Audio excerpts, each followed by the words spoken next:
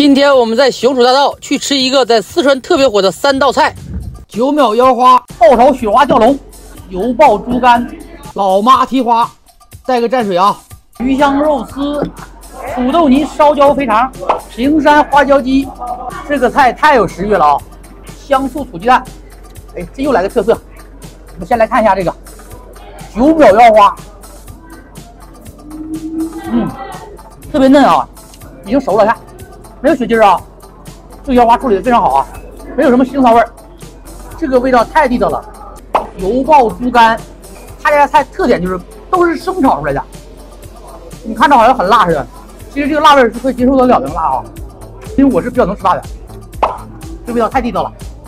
爆炒雪花吊龙，它这虽然嫩，但是有那么一点点小嚼劲儿，吃的很香啊，牛肉味儿就很浓了。土豆泥烧腰肥肠。哇，这个拌米饭我估计老过瘾了，土豆泥黏黏糊糊的，这种神仙组合怎么琢磨的呢？太有创意了，肥肠处理的很干净，没什么脏气味儿。这是平山花椒鸡啊，一入口啊，先麻后辣，我感觉这个菜跟辣子鸡平分秋色，一点不输辣子鸡啊。辣子鸡是干的，这个湿的，都很有特色。这个麻辣味道做的真的是柔和啊。就是你既能吃出麻味，也能吃辣味，但是吃呢还不呛也不冲，越吃越想吃。用香醋炒的土鸡蛋你吃过没有？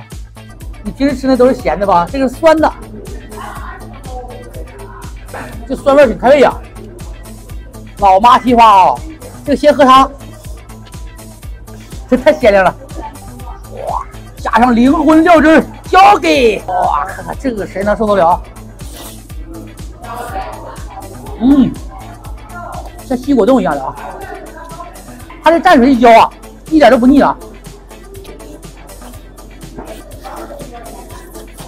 嗯，太香了！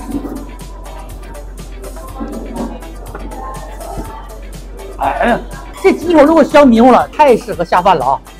来点腰花、鱼香肉丝，我感觉这个特别适合吃饭啊，就是这个土豆泥肥肠。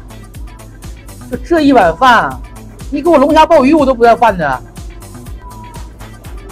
有想吃的吗？可以过来试试，不会让你失望的啊！嘎嘎地。